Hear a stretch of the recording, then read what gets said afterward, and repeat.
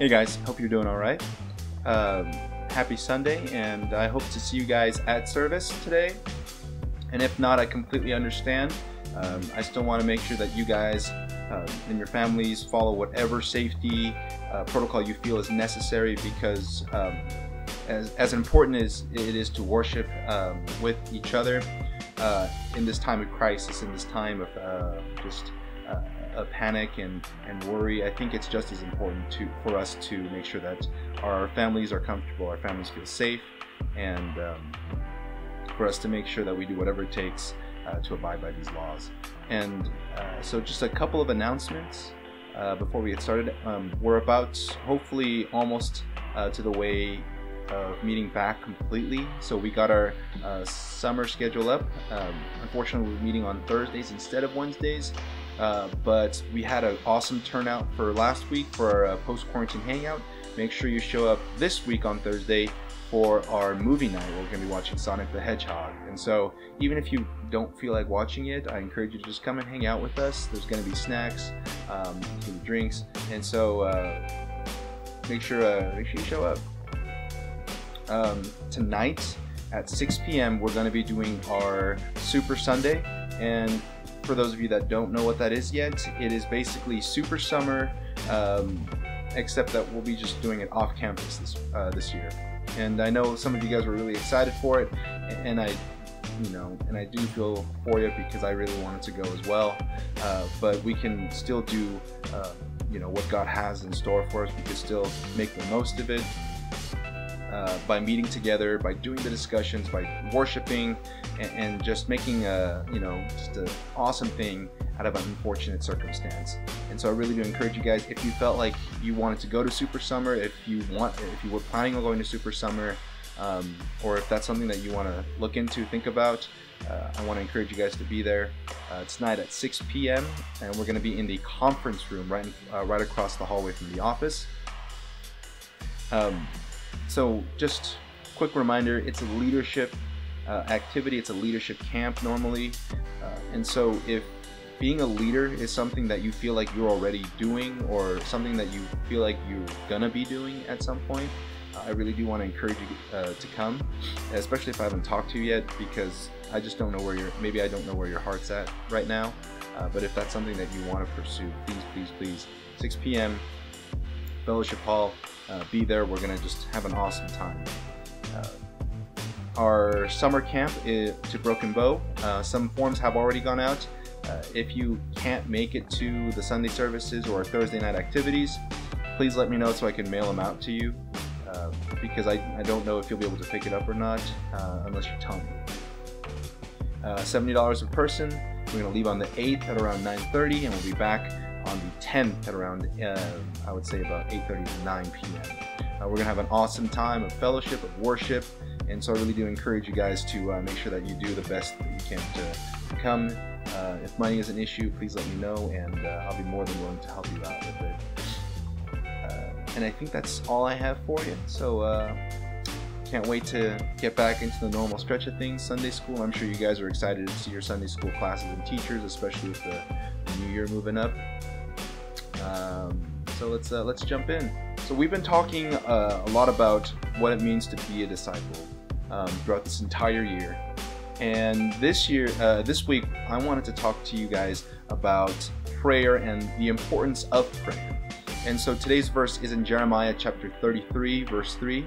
And so if you do not have a Bible with you right now, uh, pause the video, go and grab one because I really do want to encourage you guys to have a Bible with you at all times. That's actually why I stopped even putting the verse on the video is because I really, really, really stress how important it is for you to have the Bible with you um, during Sunday services, during Sunday school, and, and during um, our worship times. And so Jeremiah chapter 33, verse 3. All right, make sure you have your Bible. Pause the video if you don't. Um, and the verse goes like this Call to me, and I will answer you and will tell you great and hidden things that you have not known. And so, to, uh, for us to understand this, we have to understand who's speaking in this passage first. And um, the person that's speaking right now is God. And, and the reason that he's saying these things is because it, it's just one short verse, but there's so many important. Uh, there's such an important thing, uh, two things in, in this particular verse. Right. So the first thing is that God wants our prayers. Right. He doesn't need them, but He wants them. Right. He wants to be uh, in communication with you. He wants us to have dialogue with Him. He wants us to talk to Him. He wants us to, to communicate. Right? The second thing is that God essentially promises that He's going to respond to our prayers. So God is always going to listen and He's always going to answer our prayers. Uh, maybe not in the way that we expected or we asked for, um, but in the way that He knows is right and good. And so, uh, what about if if God didn't want us to pray to Him, right? So let's just think hypothetically. Just uh, if God didn't want us to pray to Him, um, would it change His character at all? Would He would He be a different God? And, and the, the reason I ask you this isn't because um, there's a concrete answer, right? There's like no set way that we're going to define God if He didn't want to answer our prayers or He don't, didn't want us to pray to Him. Um, but in your discussion groups, talk about that a little bit. Like, what kind of God would he be if he didn't want us to pray to him? And so he he made a relationship with us that wasn't absolutely necessary to him. Right? And I think that's amazing that we have a God, that our God uh, loves us to the point that he doesn't want just a slave and master relationship. He doesn't just want um, a creator and a creation relationship. He wants, uh, um, you know, a father and, and, child relationship. He wants us to have a, a good rapport, a, a fun relationship, an intimate and trusting relationship with Him. And that's why prayer is so necessary. He made the rules. He knows what we need. He could have simply uh, made a relationship with us, right? Like where it would be just full on servitude, where we'd be like robots, uh, just answering and replying whatever he wanted us to. But he decided not to do that. He gave us free will. And so, just as importantly, he made it. Uh, he made it known to us that we should be able to pray to him about anything. He doesn't discriminate against prayers. And even if the prayer that you pray is wrong, He wants to be able to correct that. Um, and so He wanted an open line uh, of communication between Him and us.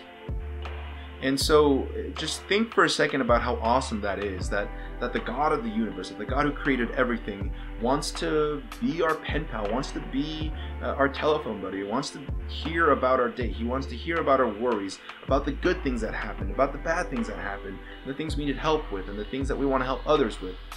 That's just amazing to uh, to me personally. And so, if we understand the importance of prayer now, then we need to move on to um, how it was modeled for us, how we should pray, what that prayer looks like, what that life of prayer looks like. And we don't have to look any further uh, than God Himself, right? We look at Jesus when He was with us uh, on earth. Um, if you want to go to Luke chapter 5, verse 16, real quick, uh, Luke chapter 5, 15, all right?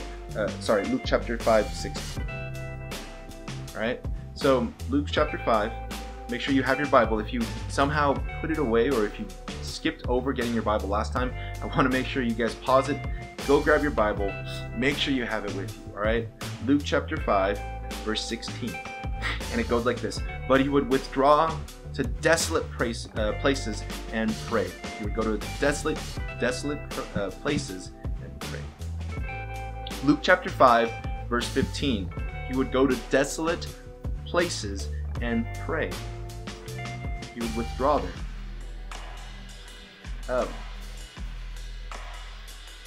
so there's a there's a really there's a big handful of descriptive words um, that are used in this pas- uh, passage. Right? Like it's not just um, you know ambiguous uh, things that happen, but there's it's intentional. There's a reason why uh, these things were written the way they were written.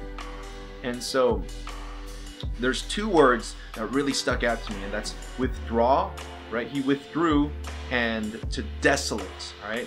So withdrew and desolate places. And, and we have to think about why he does that, right? Like, why would Jesus the Son of God, right? God Himself, who has an open and you know relationship and communication with God 24/7, right? Like a nonstop, you know, a 24/7 uh, calmly with God Himself, right? Why would He withdraw to step uh, to desolate places to pray? Right? And that's because his prayer was an intimate time. His time of prayer was an intimate one with God. He didn't want to just go through the motions. He didn't want to just say what he needed to say and move on with his day. He valued that time. He valued uh, that opportunity to just spend time with God. And so he would withdraw, right? He would back away from everything else in the world to desolate places where nothing else could distract him. And he went there to pray to God specifically. And so he made a conscious effort. Like he wanted to let people know that's where and why and how they should be praying. And so, how do you withdraw from others so that you can pray? Think about that. And so, in the in, in the next question up should be obviously, how do you find your desolate places? Right? How often do you go to those desolate places to pray? How far, how often do you withdraw from people? How often do you uh, leave from the things of the world to pray? And it could be busy. It, it could be difficult in our busy times, in our busy schedules, in our crazy lives right now to be able to do that. But here's the thing if that's not a priority, then we need to re examine um, what your priority is, right? Because everything that we do should be based around that relationship with God, that walk with God. And if we're not communicating with them, that's the wrong way to start the day. That's the wrong way to start something new. Um, go to uh, Mark chapter 1, verse 35. All right? Mark chapter 1, verse 35. So, uh, same thing. Make sure you have your Bible out pause it if you need to find it, all right? Mark chapter 1, verse 35, and it says like this And rising very early in the morning, while it was still dark, he departed and went out to a desolate place, and there he prayed.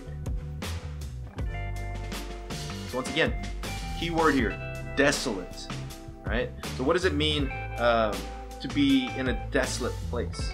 Right? We, we talked about it before, and, and that's to uh, be away from other temptations, other distractions. But how was he able to find this desolate place? Right? And so Jesus didn't go out in the middle of the day, in the busiest part, and he didn't try to find a, a little 10 minute window to squeeze in with God um, in a desolate place, right? He made that place desolate by going when it was still dark just think for yourself real quick. Are you are you a morning person? Are you someone who is able to function uh, well in the morning, early in the morning? Why is it harder to, to find time um, alone after the day has started and you're up and going? Think about those things real quick. But when we when we talk about creating time with God, right, it requires an intentional action to withdraw from others to desolate places.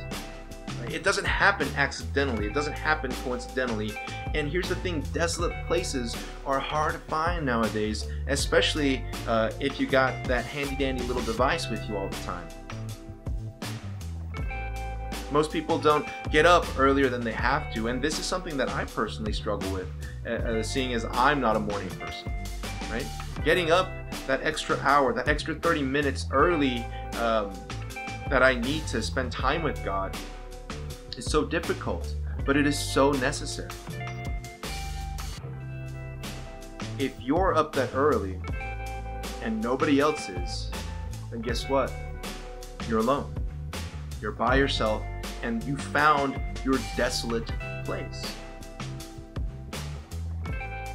And so can you think of any other reasons possibly why the morning might be the best time that you seek to hear from God? That's something I want you guys to talk about in your groups. So, finally, to wrap it up, as a disciple of God, as a disciple of Christ, right? We should hunger to know God, and that's kind of what the theme has been for the past couple of weeks. Is that hunger to know more about God and to know who He is. And one of the main ways that we do that, uh, we talked about, is to right read and memorize His Word, but it's also important to pray. Right, a lifestyle of prayer isn't something um, that a lot of people find easy. Right, it's challenging, it's difficult but we have to understand that it is absolutely essential. It is one of the foundational building blocks of having a, um, a relationship with God where we hunger to know Him. If you hunger to know somebody, then one of the main things that you're going to do is you're going to talk to them. You're going to talk about them. You're going to talk, um, you know, to them about things they like, things they don't like, hobbies, right? Uh, family, friends, and, and so on and so on. So the more you want to know someone, the more you're going to talk to them and it's no different with God. And so I want you guys to think about this week as you uh, go through day by day. think about, you know, have you been really communicating with God or have you just been saying stuff? Let me end you guys out on a prayer. Father, we just thank you so much that you continue to love us, that, that you, the creator of the universe, would take us, your insignificant creations, and want to talk with us, want to communicate with us, want to live our lives with us. God, I pray that we just understand the magnitude uh, of what that means for us and the honor and glory um, that is bestowed when, when the Almighty God wants to be actively involved in our lives. I pray that we establish a lifestyle of prayer, that we are prayer warriors, that we start the day and we end the day, and we go throughout the day in prayer. Pray that you continue to bless us, especially as we head into our summer activities. And just continue to mold us and grow us in your image, Lord. In Jesus' name we pray. Amen. Thank you guys. Love you.